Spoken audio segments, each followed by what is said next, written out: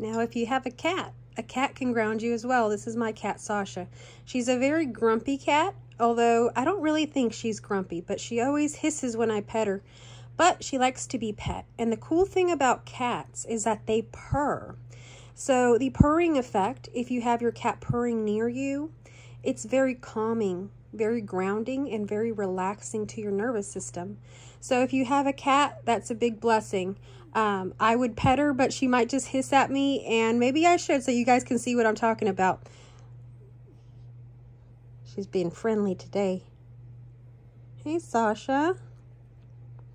And so you would just pet them and cuddle with them, and they begin to purr and do different things. She's being very friendly today. This is not like her.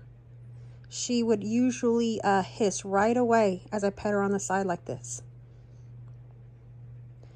But she's being very loving right now. And before I started petting her, I'll just share something with you. I created a grounding cord.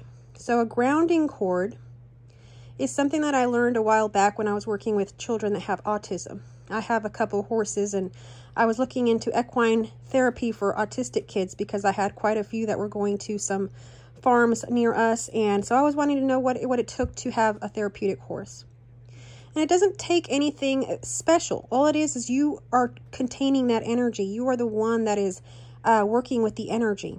So when before I start with a client, an autistic child, I will bring the child to the horse or to this animal, the cat and let them present themselves to each other. And then take a breath.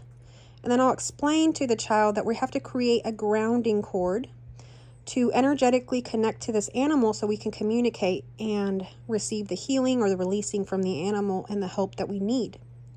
So, to do so, we're going to have to use our imagination. And so, this is what I teach the children. So, we're going to go into our imagination and pretend that we have a string, a cord that is coming out from our bodies. We can imagine that they're coming out from the center of our bodies. We can stand in a stance. I tell them usually to stand in a stance with their legs apart. And there's a cord energetically coming out from in, in their body down straight into the ground. And they will imagine that cord going through the dirt. And so I'll kind of uh, help them imagine it if they have trouble. It will go through the dirt, through the worms. It'll go through everything that's down there. Magma, whatever you can imagine that is underneath the earth is going to go through. That cord is going to go straight through until boom, it's going to click.